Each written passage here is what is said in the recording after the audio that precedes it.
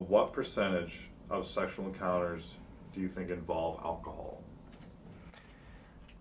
Um, percentage wise, I'd say 60. I I say more than half at least. 60%. 60%. Alright, I'd say like 50 50. 40%? Cool. Um, Maybe 60. okay. Yeah, some, some people, yeah, yeah, yeah. 40 to 60%.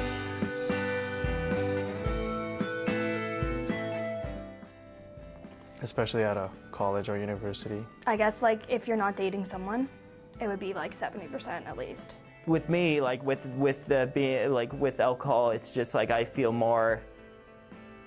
I'm not as nervous and stuff, and I feel that like that brings out a lot that in a lot of people. I can have sex sober or I can have sex drunk. Like, I don't know, but I remember all of my sexual encounters, how it started.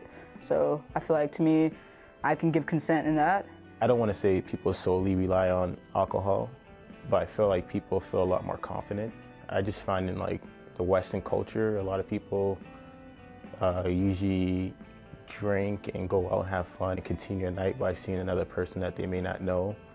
I feel like that's one of the biggest issues in the Western culture. It's like, I feel like people find like it's their way to get out and like participate in sexual activity through drinking.